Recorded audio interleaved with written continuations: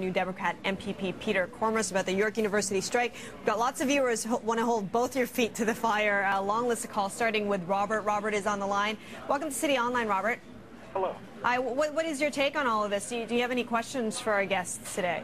Well, mine is more of a comment. I'm, it's my feeling that pretty much everyone involved in this, from the NDP all the, all the way down to the students, are losing. The students Mm. are losing money and time. The university, they're going to be losing enrollment, and because of that, these um, workers, they're going to be losing jobs because they won't be needed. And the NDP, their major one of their major consti- constituencies is students. And so, what the NDP is saying right now is that, that oh well, students, you're losing money and time. I guess that's more important that the union gets what they want.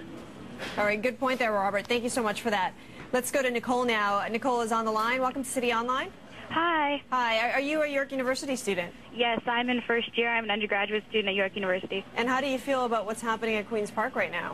Um, I think it's absolutely ludicrous, by the way. Um, the bargaining system has clearly failed. It's just failed. Um, I want the NDP to not make an example of me for other universities. I think that they should do that in 2010 when all CUPE unions, by the way, in Ontario are planning to bargain as a cohesive unit. I'm gonna- I'm I think let- at York let they should basically they should have chosen either now to argue with that or 2010. I'm going to I'm going to let Peter address that because, as I said, a lot of students feel that, that you are holding them up to make a point.